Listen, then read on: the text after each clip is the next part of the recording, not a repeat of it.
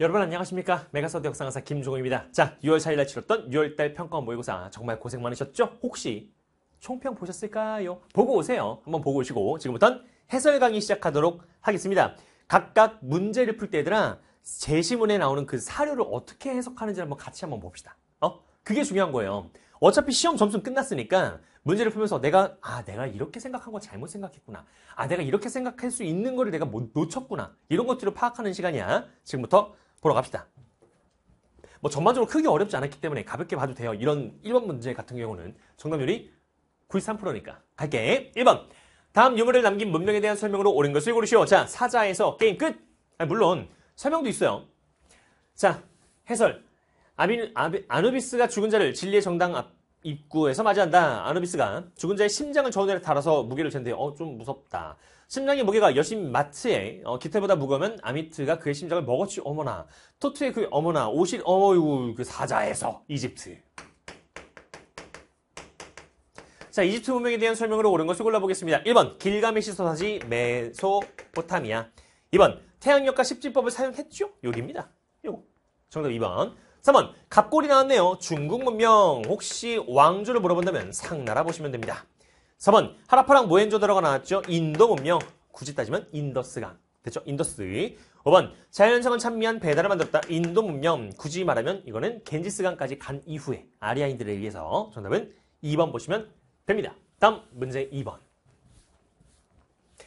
가 국가에 대한 설명으로 옳은 것을 골라볼게요. 요거 보자마자 왼쪽 인물은 필리포스 2세의 뒤를 이어 마케도니아 왕이다. 이거 보자마자 이 그림의 왼쪽 인물 어? 예 알렉산드로스 하고 정답으로 5번 찍었다 손 어, 5번이 아니고 어디야? 알렉산드리아 찍었다 손 아 이렇게 낚이는 문제였잖아. 아 진짜로 저도 낚일 뻔했어요. 벌레? 봐봐. 왼쪽 인물은 필리포스 2세 뒤를 이어 마케도니아의 왕이 되었던 누구야? 알렉산드로스가 맞아 얘들아. 이 사람이 알렉산드로스잖아요. 이렇게 생겼잖아. 우리 이거 사진도 많이 봤을걸요? 알렉산드로스 이렇게 생겼어요. 근데 그는 이 전투에서 기병과 중장 보병을 앞세워서 가 국가의 황제가 이끄는 군대를 물리쳤어. 그러니까 알렉산드로스가 가 국가를 물리친 거야. 즉 알렉산드로스가 가 국가를 물리쳤으니 알렉산드로스가 물리쳤던 이 가 국가 무슨 왕조야? 아케메네스 왕조 페르시아지. 그죠?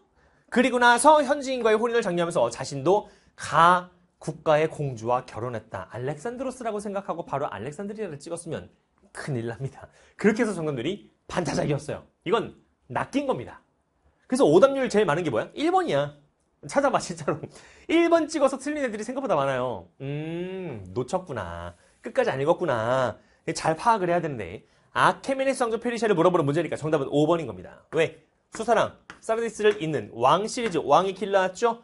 왕의 길, 왕의 귀, 왕의 눈, 뭐 이런 거 있잖아. 그러면 아케메네스 왕조 페르시아. 보시고. 참고로, 알렉산드로스가 아케메네스 왕조 페르시아를 멸망시키러 가는 그 과정에서 있었던 전투를 뭐라고 한다고? 가우가멜라 전투, 기원전 331년. 다음. 아, 아니지. 이소스부터 써야죠. 미안.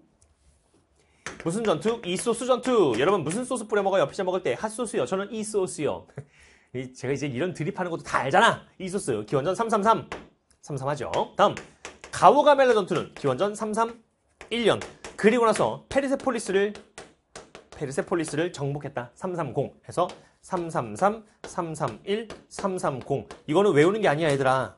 근데 이거 왜 썼어? 순서대로 저기 서쪽부터 이소스, 가우가멜라, 페르세폴리스 이렇게 가서 페르세폴리스, 아케메네스가 멸망당하는 겁니다.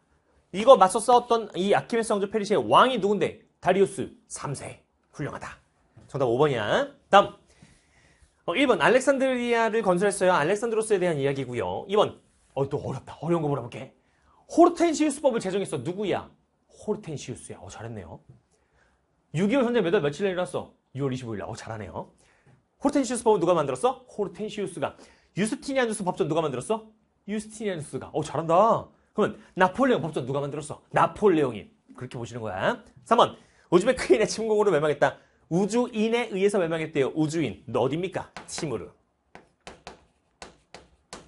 수도 니네베의 왕립 도서관을 만들었다. 아시리아. 우리는 아케메르 상주 페르시아였습니다. 정답은 5번이었고요. 다음 문제 3번. 가 왕조에 대한 설명으로 옳은 것을 골라볼게요. 진승이 나왔습니다. 진승. 진승은 왕으로 짐승 아니야. 진승은 왕으로 추대되었고 국호를 장초로 정했다. 진승은 폭정에 시달리고 있는 농민들에게 가 국가에 반대하는 봉기에 참여할 것을 호소했다. 어? 그럼 진승이 가 왕조에 반대하는 봉기를 일으켰다는 거 아닙니까? 그죠? 진승이 봉기를 일으켰다며 봐봐. 봉기를 일으켰네? 그럼 진승이 오강과 함께 일으켰던 진승 오강의 난 가왕조 무슨 왕조?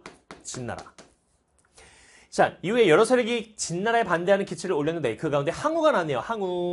유방도 나왔습니다. 해서 항우와 유방의 초한지가 벌어지는 건 진나라 사, 진나라 멸망 이후잖아. 그러니까 진나라 물어보는 겁니다. 또한 진나라 조정 내에서는 이사 나왔네요. 이사가 조고의 모험마다 사용당했다. 이사는 진시황제 옆에 있던 사람이야. 해서 진나라에 대한 설명으로 옳은 것을 골라 보겠습니다. 1번 구품 중정제를 실시했다. 위진남북조입니다. 위진남북조. 구품 중정제를 처음 실시한 게 위나라. 구품 중정제가 폐지된 건 수나라. 그러니까 위진남북조 딱 들어가죠. 2번 내각대학사를 설치했다. 명나라입니다. 굳이 왕을 따진다면 영락제 보시고요. 3번 화폐랑 도량형을 통일 통일 통일했네요. 통일정책 정답 3번 진승과 아니 뭐야 진나라에 대한 설명. 진나라.